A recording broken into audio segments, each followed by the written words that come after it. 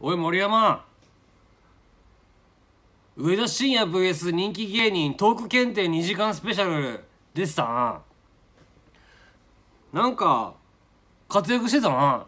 もしかしてだけどあの川島さんとかより上田さんとかの方がやりやすいのかな。と思ったよ。もうだからいいかもね。でちょっと2時間スペシャルねまだ全部見てないんだけど 途中で寝ちゃって全部見てないんだけど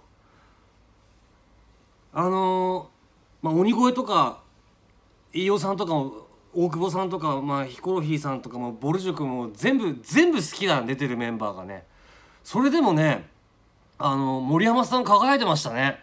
で普段もっと突っ込んだらいいのになっていうところがねあの突っ込めてた。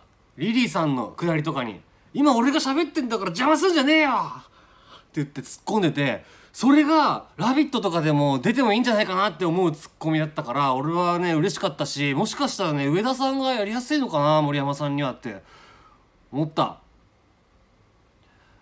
あと宮下草薙が全然喋んないのがね頑張れと思って見てたけどねうんあとやっぱアンガールズ田中さんとかやっぱ格違うな。あとアンタッチャブル柴田さんがあの復帰してからしばらくの間はちょっとなんかあのちょっと空気と合ってないなっていう感じがすごいしてたけどもう面白いね柴田さん。